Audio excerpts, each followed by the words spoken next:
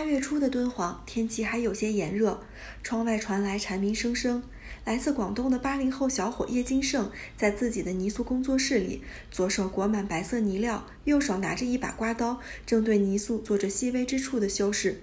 他介绍说，这座泥塑底稿的原型是莫高窟第一百零三窟壁画维摩诘经变的形象，已经创作了快两个月，难在神韵的表现，还需要细细打磨。近日，记者来到了位于甘肃敦煌的月牙泉小镇。叶金胜回忆说，两年前他以游客的身份到达莫高窟，被这里的美深深的震撼。他想给自己更多的时间去了解敦煌，了解莫高窟。短暂的旅行结束之后，他萌生了打包行囊去敦煌生活的想法。广东附近，慢慢的一站一站的往往西北这边走，基本上就把各大石窟。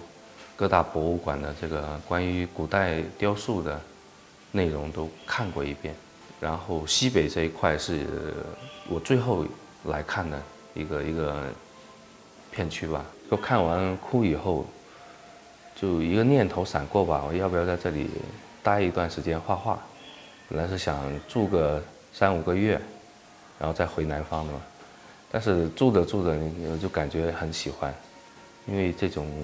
气息，还有这种敦煌的这种环境吧，我感觉还是很适合我的一个创作的一个方向。二零一七年，叶金胜只身来到了敦煌，入住主打敦煌文化的月牙泉小镇，经营着一间彩陶工作室，一边教来往的游客制作彩陶，一边静下心来创作。创作是需要经济的支撑的，那我们来到这里刚创业，我。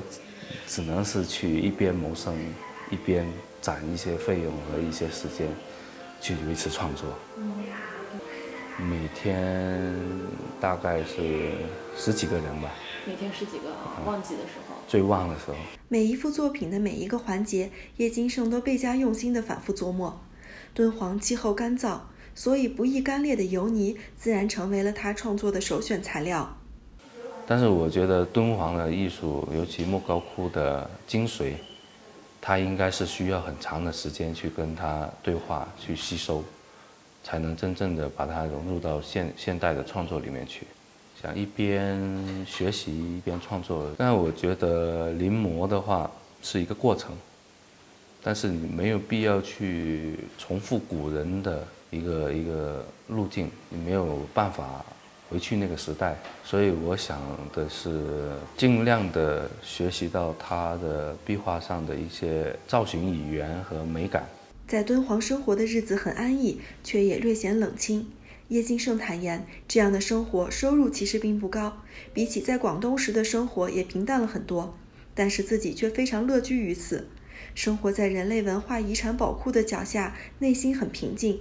每天踏踏实实的在工作室里一坐就是一整天，在如世外桃源一般的生活里安逸的创作，感悟彩塑艺术，富足精神人生。